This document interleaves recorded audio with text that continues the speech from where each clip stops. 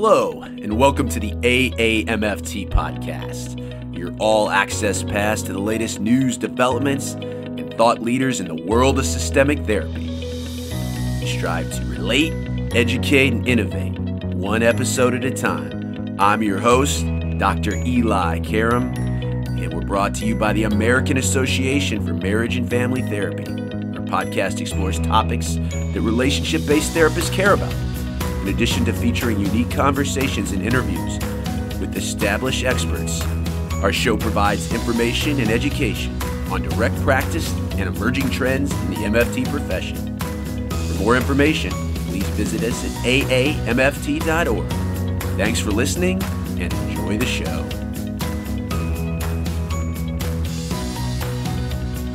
Eli back with you on the AAMFT podcast when we get into this field, it is great to work with individuals, couples, families that want to be there. But sometimes couples don't want to be there. And they're coming to you not to save the relationship, it's because the relationship is over. They have either been ordered or advised by somebody else that the way they're divorcing isn't really working. Maybe you didn't get into the field for that part of the work, but I guarantee you, if you were going to work with couples over the life course of your career, as a couple and family therapist working with divorcing couples goes with the territory. And who better to talk about that today than Dr. Jay Lebow? He's a family psychologist slash family therapist who's a senior scholar at my old stomping grounds, the Family Institute at Northwestern University, where he's also a clinical professor at Northwestern and has served for the last several years as the editor in chief of the Journal of Family Process, one of the greatest family therapy journals in our field. He is a clinical fellow in AMFT, he's board certified by the American Board of Professional Psychology. Jay is known for his specific models for treating those involved in high conflict divorce, which is the focus of our conversation today. The approach is outlined in his book, Treating the Difficult Divorce, a guide for therapists, which came out in 2019, and it applies an integrated family systems perspective to those having significant problems with this life transition. I am pleased to be joined on the AAMFT podcast today by actually a, a mentor, a colleague, and all around good guy, Dr. Jay Lebow, who today is talking to us about one of his clinical interest areas is working with divorcing couples, i.e., divorce therapy. And Jay, you might also know, I mean, do a podcast on his other major contributions to the field of couple and family therapy. Uh, he's also the current editor of Family Process, um, along with JMFT, one of our great journals in the field. But today we're talking about divorcing and working with couples, Jay. You know, it used to be in our field, if you could not save a, cu- a couple uh, and a relationship ended in divorce, that was a, a bad outcome. We do not think that way anymore at all. In fact, the field has, has moved forward in many ways and she's been a part of. So before you tell us about the nuts and bolts of working with divorcing couples, how'd you even get interested in working kind of with high conflict divorcing couples? Well, th- this is an, an interesting story. I work at a place uh, called the Family Institute at Northwestern. It is a very prominent uh, provider of mental health service in the Chicago area. And the judges in the Cook County system in about we're talking about now in, in the uh, early 1980s were looking for somewhat of a better way than what had been the time honored process of uh, people coming into court, having a terrible time with each other, and leaving extremely frustrated. And so they um, sought us out and began to send us various cases in which there was a, tr- a tremendous amount of conflict. Uh, and w- what happens in those cases um, is uh, that it still happens. The judge can uh, lecture, which they often do, right? Judges have good ideas about what might be helpful. So they can lecture divorcing couple about what might be helpful uh, judges have some extreme things they can do, like when there's conflict, there can be a, a trial, and at the end of the trial, the judge can rule for one side or the other about very important things like custody of children, division of assets, and whatever. But that's pretty much the entire judge's toolkit. There isn't much the judge can do uh, uh, otherwise. So, uh, so the judges, as I said, in in Chicago, this was also true in other parts of the country, began to seek, seek out coordination with uh, mental health providers to uh, try to do something better. First, let's define how divorce therapy is different than traditional couples therapy where the goal is to save the marital relationship. Obviously, in divorce therapy, it's the opposite. But tell us some of the major differences as you see them. Well,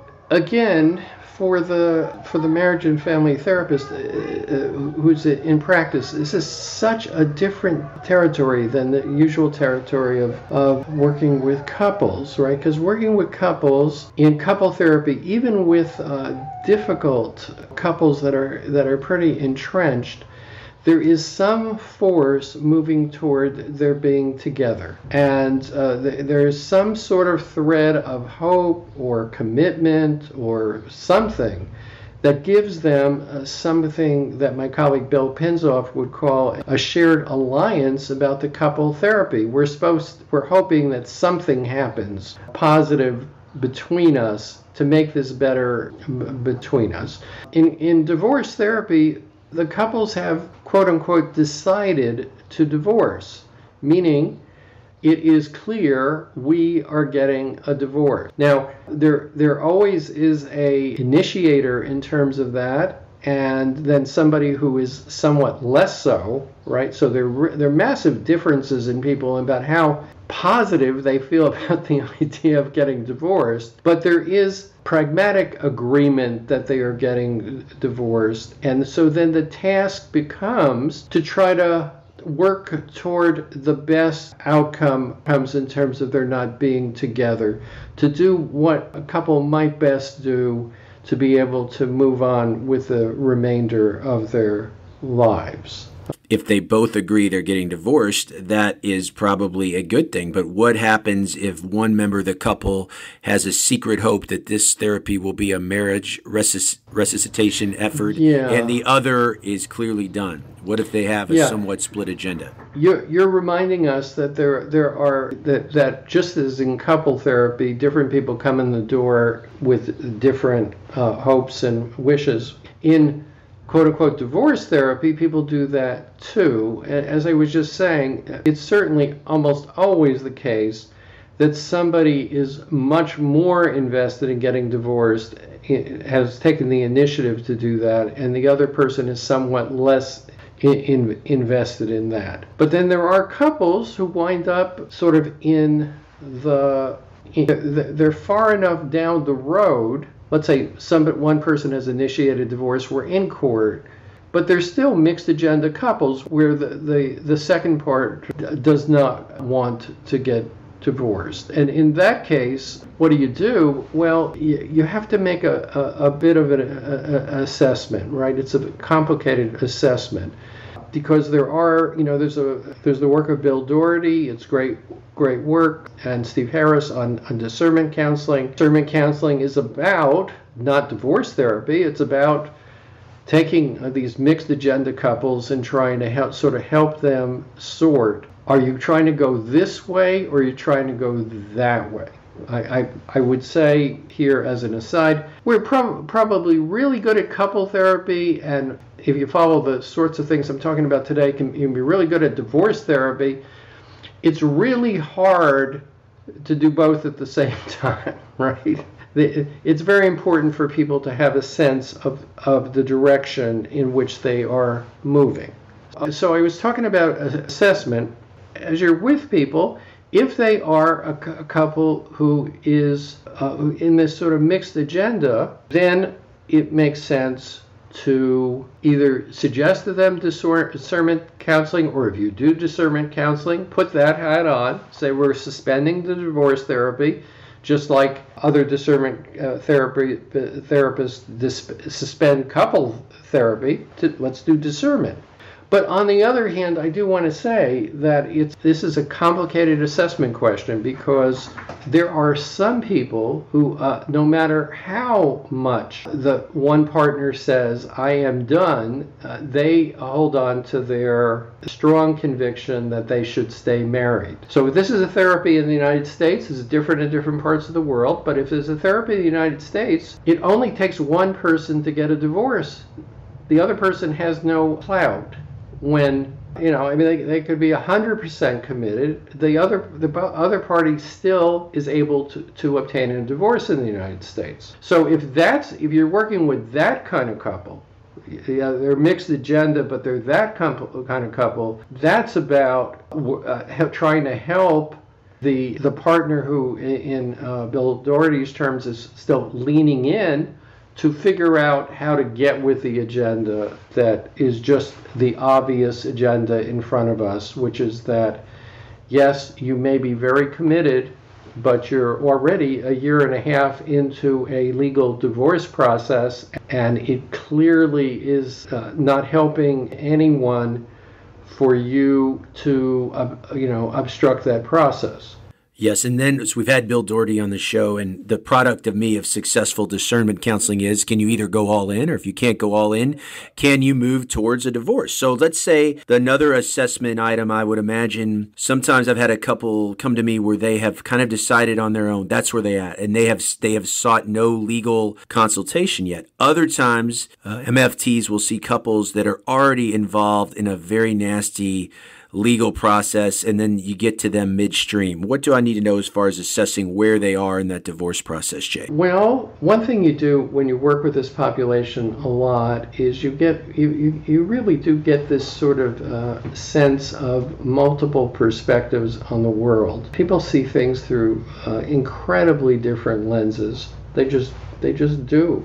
And they convince themselves, and they have a lot of data to back yeah, up their lens. Right. So, so uh, what, what, a piece of the angst of being a couple therapist is that you see couples who have really great relationships who decide to get divorced.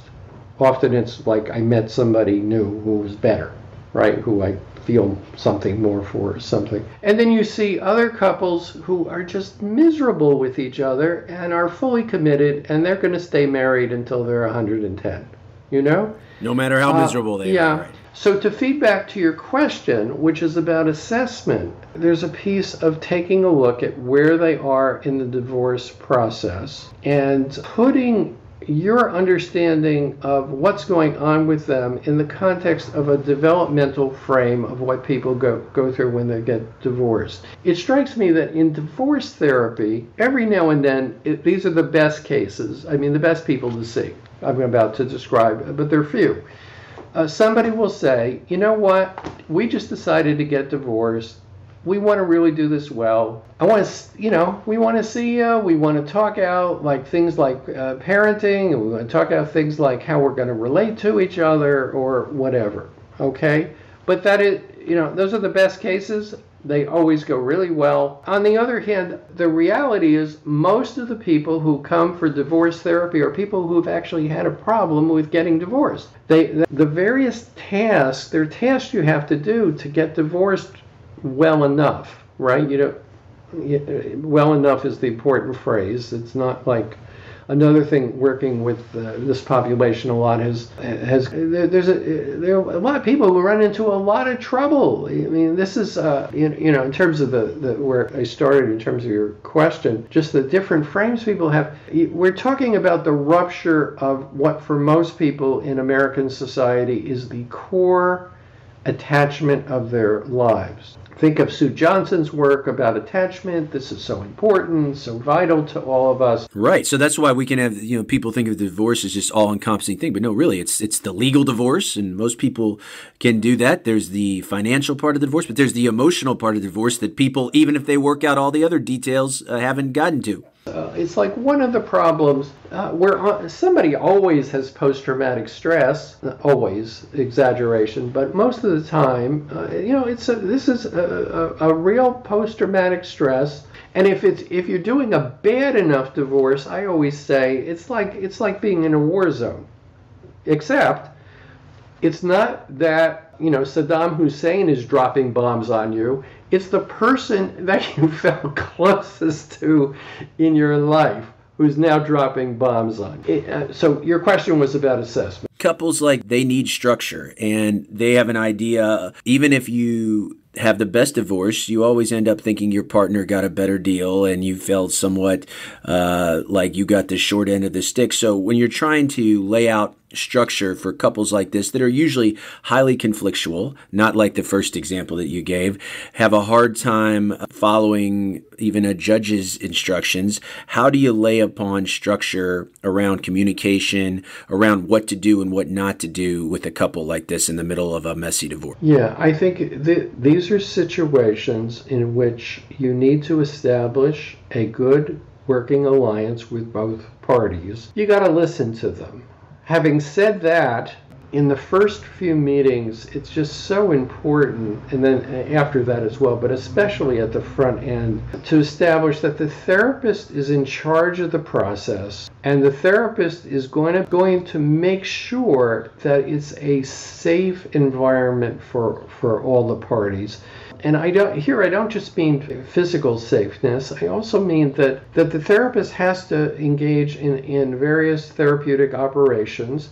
to establish that they're in charge and to contain conflict when it occurs. I, I often say to people in, in when they get into the uh, knee-jerk conflicts, this is why this is why you sort of have to be here. Because of these conflicts, and to just go on with them in the way that they do, uh, kind of on the front lawn or in the house, you know, really serves no purpose. We talk about this idea of, of course, you need to listen, but in listening, whereas your alliance it's more easily framed as my alliance is with the couple in a couple or family therapy where the job is to preserve the relationship. In this one split alliances are almost expected in the sense that one partner is trying to get the therapist to see it their way but really you cannot be kind of judge or jury. How do you frame to a couple what your role is in order to minimize the chances of these split alliances coming up you try to set a frame with them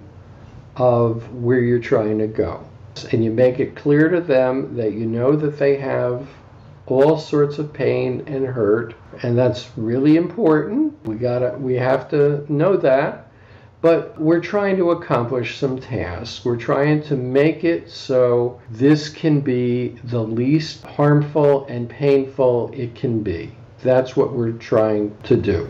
And at the end of the day, you can move on with your respective lives, whether you have children or not, with the most integrity and respect right. for each other. And, and accomplish the task. There are tasks in divorce. You just named one, right? If you have children, you have the task of trying to figure out how to co parent them, right? And there are various tasks for as well for people who don't have children, right? There's various tasks we have to do how do we accomplish the, these tasks? And in most of the population I'm talking about, this is not subtle.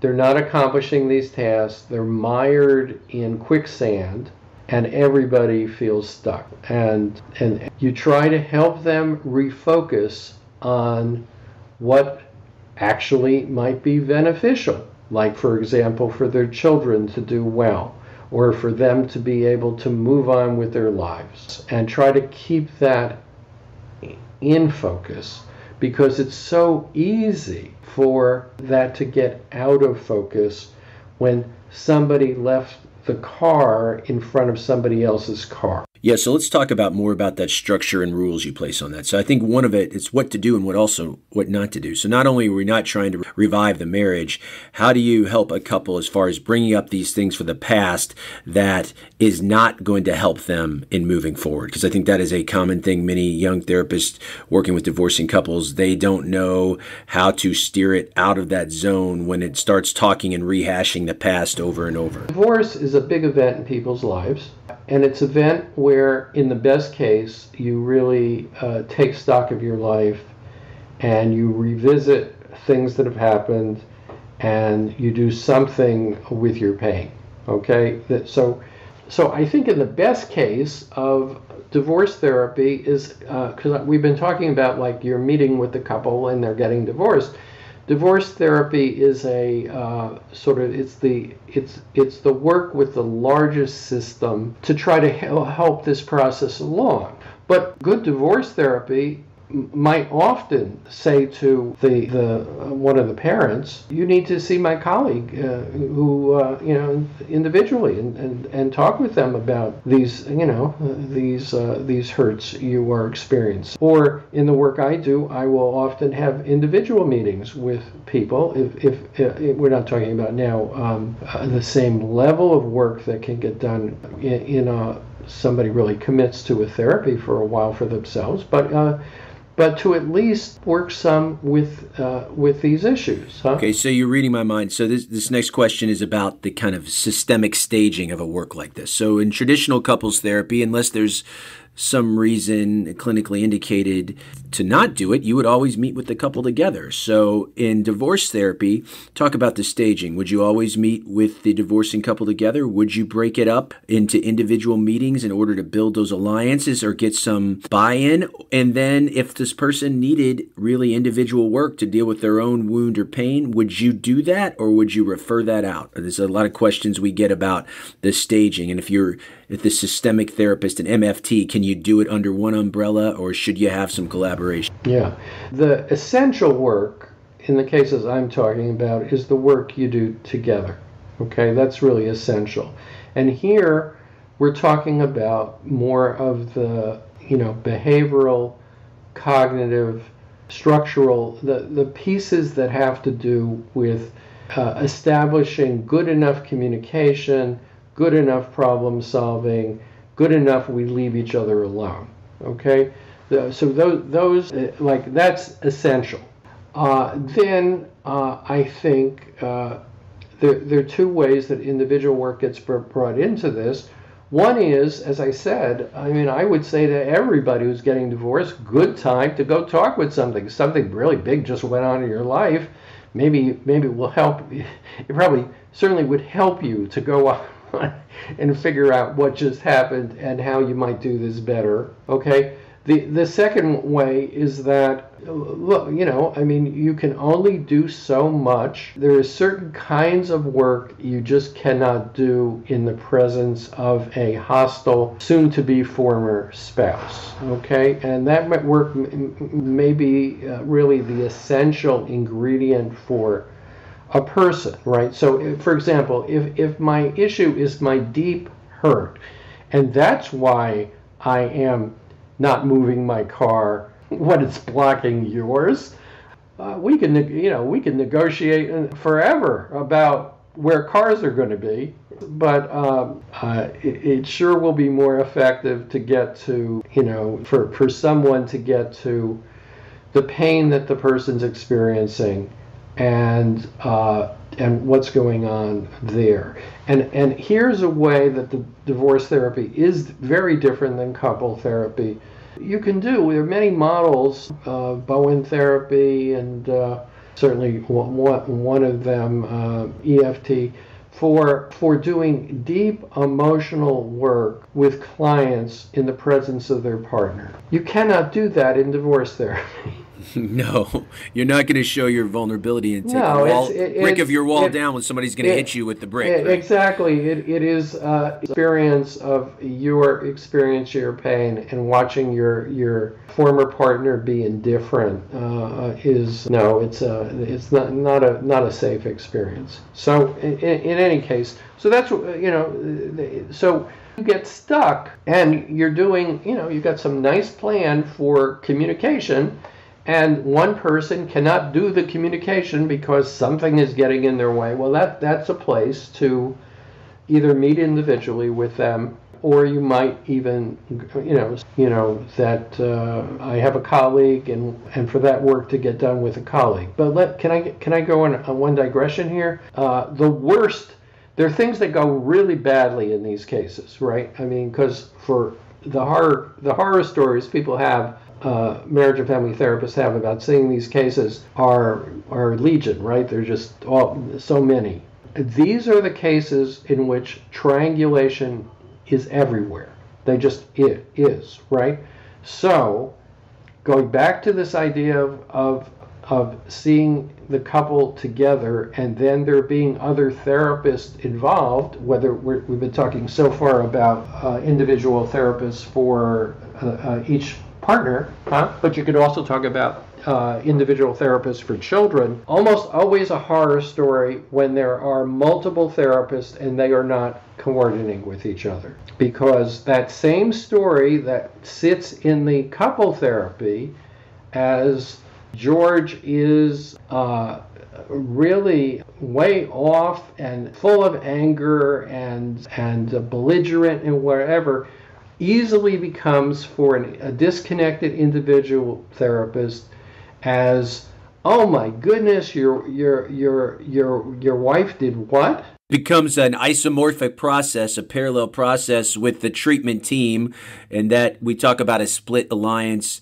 uh, it's a very split treatment team alliance right. too yep. yes yeah absolutely so you have to in the in, in, in the way of doing this that I put forth, it, it, you're, you're always talking about somebody sort of taking a coordination function to make sure that all the therapists are talking to all the other therapists. Because in that way we all stay on the same page. Therapists mostly want the same positive outcomes right? It's just a matter of getting them to understand the multiple perspectives I think also another thing going along with that, it's great if you're at a place like the Family Institute at, at Northwestern University where you have a, a lot of clinicians to collaborate, or if you're at a COAMFTE training program. Uh, but if uh, if you don't, it still behooves you to get the release to talk, and at least initially back at that assessment phase, you got to ask. I think so many young therapists make mistakes or inexperienced in this type of work because they don't ask who you've seen before, who are the players in the system, and then you get hit with some big headaches if you don't ask those no, That's right. And, and, and even uh, even people in uh, in private practice form these little networks, informal networks of uh, okay, you know, I, I I work with this population, and I know these other people who work with this population, and I'm going to refer my individual my my individual individual in my therapy, therapy to this person, and we have a good working relationship. So when you can do it up front that way, it's much it's much easier, right? When you you have relationships and you can with the other therapist and, and, and the conversation uh, come, comes most ready, ready. But on the other hand, most situations you don't have that. In most situations, you are, you know, then left to kind of reach out and talk to somebody you don't know and talk to you know and and try to try to see if there can be uh, good enough coordination. So when we talk about coordination let's also talk you're talking about larger systems so let's talk about the legal system. Many therapists their worst nightmare and i'll own this i don't want to i've been doing this for almost two decades now, and I do not want to go to court. Uh, that is the last thing that I want to do, and it's very hard for me to go into a therapy and to be an agent of change, thinking that somebody is going to use me, a client, in some kind of court manipulation. So, talk about interfacing with the legal system and how that works, and how you, as a MFT, working with highly conflictual divorcing couples have to navigate that territory? So the answer to this question starts with a paradox. And the paradox is that one actually almost never gets called to testify in these cases.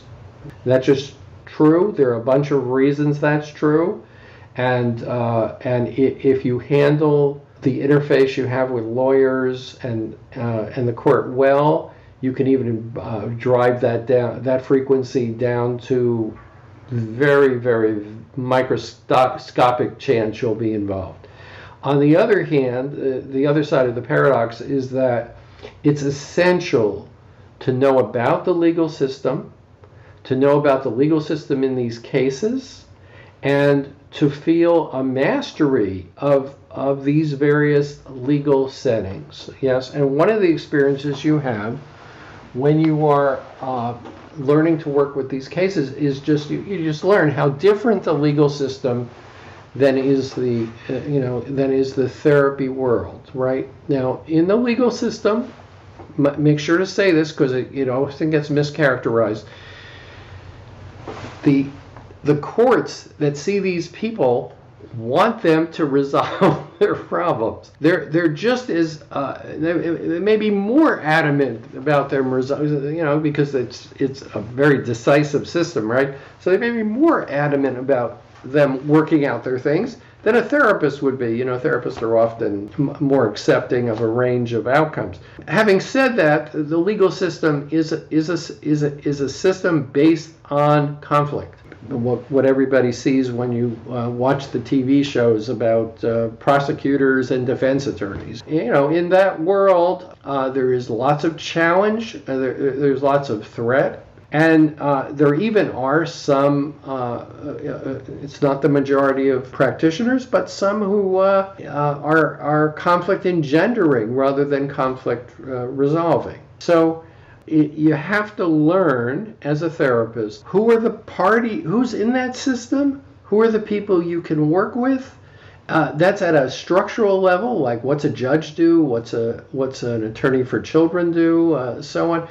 But you got to learn about the people, the specific people. You got to learn, you know, who this person is and that person is, and how how to how to work best with them. It really is a, a place where you need to learn to work with with uh, systems. Yes. Now, how does someone, if if they didn't get this training in their graduate program. So clearly, it is within the scope of an MFT's practice to do divorce therapy. However, may not be in their scope of competence until they get the experience doing it. So you have uh, been in this field for over four decades. You were, as you said, in the infancy of doing this work when the divorce rate spiked in the early 80s. Where do I go if I'm an MFT listening to this podcast to get more information in the kind of training that I need to work and learn these systems and work with these couples? Number one, uh, you seek out training.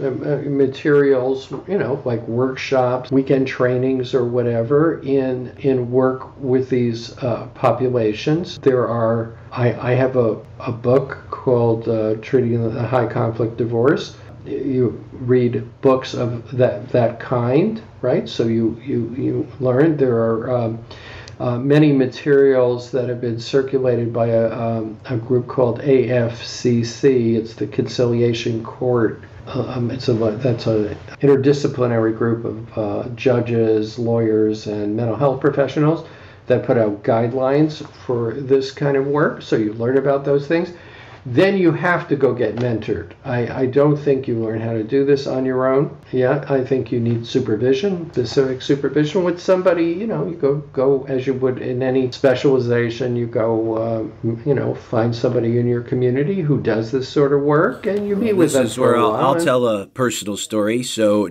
Jay was one of my original mentors at the Family Institute almost 19 years ago now. So I was Jay would get a lot of these cases, and it would be a team of therapists work working with the couple. In this case, uh, we were working with, with the child, but that's how you learn. You learn by working with other people that do the work. A nice thing about these cases for training is that, as I you know was emphasizing a bit ago, uh, these, these are often cases where there are multiple pieces of the case, right? So uh, as you're learning, you would uh, begin with you know the work with one of the the partners with uh, the supervisor working with uh, the system. And so, you know, if, if that if was in that sort of way, you have the common ground of the case you're learning about the case but you also are then learning what the supervisor's doing in the in the larger context. It's also how you model for the couple uh, again another parallel process how to have the right communication and how to stay on the same page.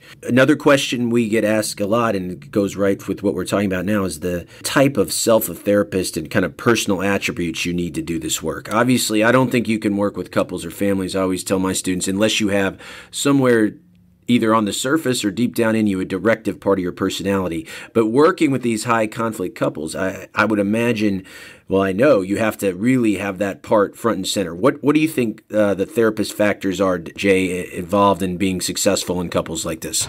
Yeah, I you know I have I have seen. Uh, uh, several of my senior colleagues who were just not cut out for this work right? You, you, you they're too they nice. Wind, they wind up with one of these cases, and they do exactly. They do beautifully with with uh, other uh, a wide range of other couples. It does take a special, uh, some special self of the therapist characteristics.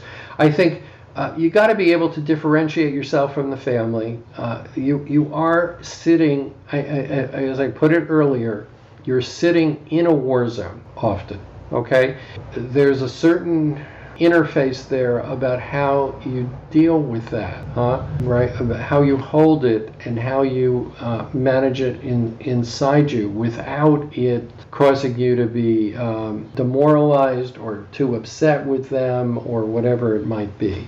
Um, hope you got to you have to have a, a lot of hope here. You have to be able. It's a paradox here. You have to be able to see through the pain and keep a developmental framework here. Like the best of couples often have difficulties in some way in terms of this very difficult process of separating and divorcing, right? So you have to be able to, you know, to um, to imagine uh, them not at their worst, but uh, like in some process of moving ahead. And then, as you said, you have to be uh, able to be highly structuring when you need to. And you have to have a skill set that goes with that. I mean, you know, that combination, uh, I think, puts one in, in, a in a position to to go in and and and be a, a, a positive force in helping people move along. Um, I don't know if it's an inter, exactly an interface issue, but it is certainly essential. It, it falls in the ballpark. You got to be able to set realistic goals here. I, I, always say that it's like we're trying. If if we are talking about the most difficult divorce, we're talking about just trying to get people to do the, this a bit better so that there is less damage. Some people are more able to. Uh, be it by virtue of their personalities to get in that territory. Other people are more, uh, you know, are just harder scaling back goals. I think, think also uh, after reflecting on back what we've said so far this hour, I think another quality uh, that you need to have, in addition to being hopeful, is that you have to find is someone that finds the buy-in. So we could do a whole different podcast on having kind of a limited partnership in the best interest of the children. But sometimes there is nothing that unites them except they both want their children to succeed. And they realize after time and money and frustration that the way they're doing it isn't working, they might not agree how the partner, they might not, not know the right way to do it, but they agree that their child is important. So that is a buy-in I often use. I also think the goal of the therapy uh, is to divorce, but they still want to focus on inflicting the same pain and suffering on their partner, their ex that they had, that won't work either. So eventually people realize that they need to move on. In order to move on, they have to have some structure in their current relationship with their ex. And then there's some relationships where part of the, the the work is moving to where they won't have contact, especially if they don't have children. That's hard for some people too. That even if they're not staying married, still are somewhat, as you we were talking about earlier, emotionally tied. How do you know when divorce therapy is over, Jay? Well, it's a re- a really tough question. It's because it's it for the majority of the cases we're talking about today, which are these difficult divorce cases, right? I mean, that's the the answer might be different with a couple who are, you know, uh, in that mode of I just want to kind of work on my divorce and, you know, get this to be better. But um, but in those difficult cases, I think uh, it's when you feel like you've reached sort of maximum benefit. Uh, and uh, and and that in the form of getting uh, some uh, separation, getting some level of better behavioral compliance with the things that need to be done, sort of uh, moving out of each other's lives. Good enough communication that is like uh, manageable. right? So Where, basically, they've internalized the, the structure of the therapy and the meta rules for communicating that they can do it on their own and they don't need you in the same capacity. I'm actually uh, saying that in a little different way. If we're talking about really difficult divorce, uh, it's it, it, my experience is that it's just not. If you made a checklist of they were, you know, really good communication or whatever you'd be with these people forever. I mean and and and it's time limited. Uh, this work always is time limited. So i i think it's getting it good enough getting it good enough so that there isn't like I, we can expect there are going to be problems in communication. We get across to each other at least the most important things. So we don't have too many of the conflicts that come up about communication. That, that it's sort of like an, I mean, use the word acceptance. It's not actually accepting because it's not, if you ask, I think if you ask people at the end of this process, did they really accept what their partner was doing? No, they would still complain about what their partner was doing. But it's it's like a, a, a, like okay yeah we got this to move along number one we are now divorced a very important thing to accomplish we're not going back in court about matters okay because we're at least figuring out some way to live our lives and we've uh, at least erected uh, enough of a parallel uh, something about parallel lives and enough of an interface with each other to not make this too terrible for everybody.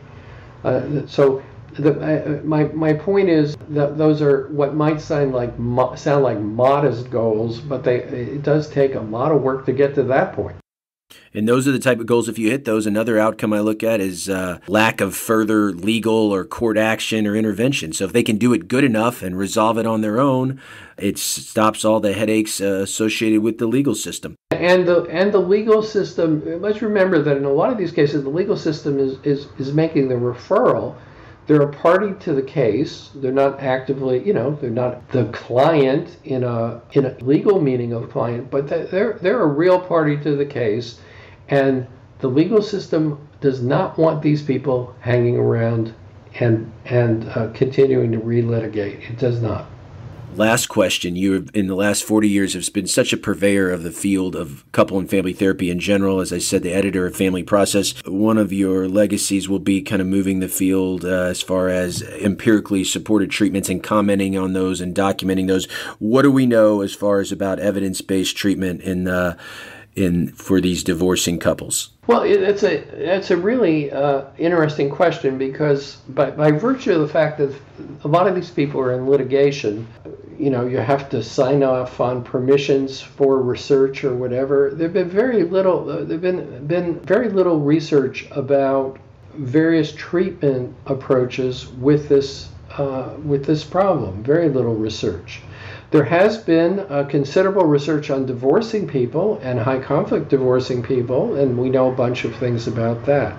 So, uh, so I believe th- that it's very important to use the evidence that we have to inform this practice, even though there aren't the kinds of studies that there might be, say, on couple therapy, where we can we can know that uh, EFT done with 50 couples in a randomized clinical trial worked, right? We don't have that. So, how do you do that? You do that by uh, number one, using the methods that have been demonstrated to work in other similar populations. There's a lot of work, for example, on a lot of lot of uh, research on how to work with high conflict there's a lot of work on how uh, uh, research on how to work with with a, the kind of affect uh, dysregulation that a lot of the folks uh, I'm talking about have. And there's a lot of information about divorcing families and the processes in divorcing families and whatever.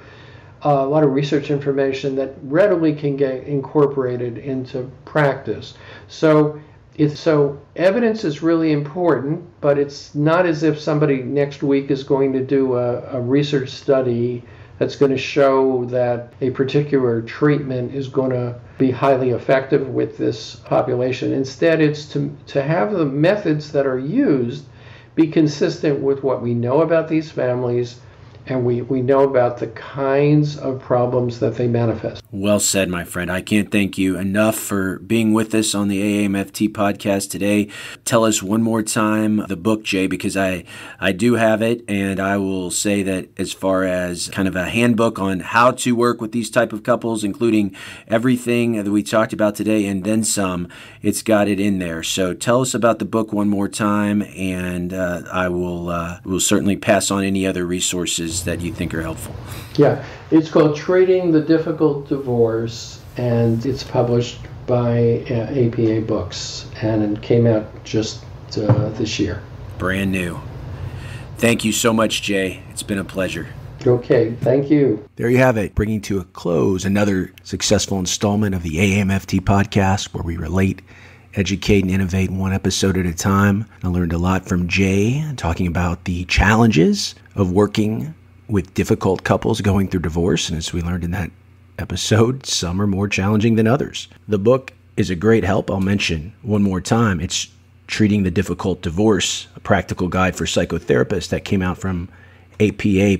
You can get it in hard copy or if you like to read on your e-reader or Kindle, pull an Amazon Kindle, wherever you get your favorite psychotherapy books, table of contents. I'll just tell you a little. There's interventions with divorce, there's structuring treatment, specific treatment strategies, interacting with the legal system, and special challenges from difficult divorces, and the therapist's own interface issues with difficult divorces, plus plenty of relevant case examples. Jay could easily come back and be the subject of one of our pioneer interviews. He's really done it all in the field. I think somebody that is associated with integration and just a purveyor of what works in psychotherapy. Nobody better today, still around and kicking, than Jay Lebow. Thank you so much, Jay. Follow us on Twitter. AAMFT is at the AAMFT. I'm at Dr. Eli Live keep the conversation going. I love hearing from listeners. Lately, I've been getting a lot of feedback, both supportive comments on the show and what you'd like to see coming up, both interviews and guests and content areas. And I appreciate both of those. Easiest way to get a hold of me is info at elikaram.com. info at E-L-I-K-A-R-A-M.com. You can drop the AAMFT line at communications at aamft.org. We love hearing from you. Until next time, my friends, stay systemic.